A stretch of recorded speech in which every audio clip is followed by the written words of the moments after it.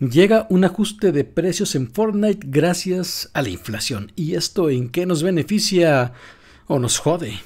El correo dice así. En línea con el ajuste de precios de 2021, vamos a hacer algunos cambios en el precio de las monedas B y paquetes de contenido en México a partir del 17 de julio de 2023 debido a factores económicos como la inflación y las fluctuaciones monetarias.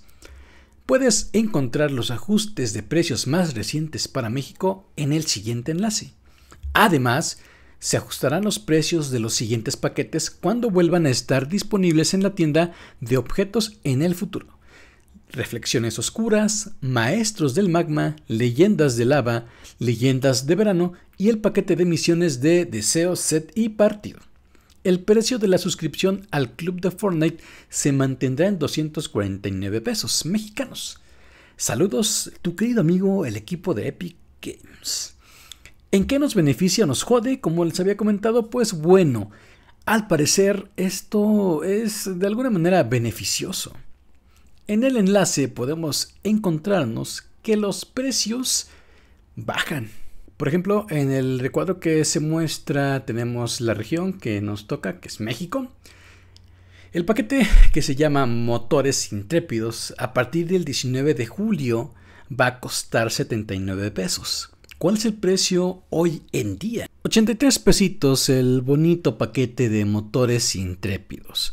Lo mismo pasará con el paquete Clip al completo. A partir del 27 de julio tendrá un precio de 319 pesos, cuando su precio en este momento es de 329 pesos. El precio que se paga por el pase de batalla de regalo será de 151, cuando su precio original es de 159. Con respecto a las monedas B o B-Box, el lote de 1000 monedas costará 159 el lote de 2.800 monedas costará 399. El lote de 5.000 monedas pasará a costar 649, mientras que el lote de 13.500 monedas B tendrá un costo de 1.629 pesos. No se dio el precio de los paquetes, sin embargo, por el momento no van a tener ningún ajuste de precio, salvo cuando vuelvan a estar presentes en algún futuro lejano o próximo entonces ahí podremos saber cuál será el nuevo precio de estos paquetes.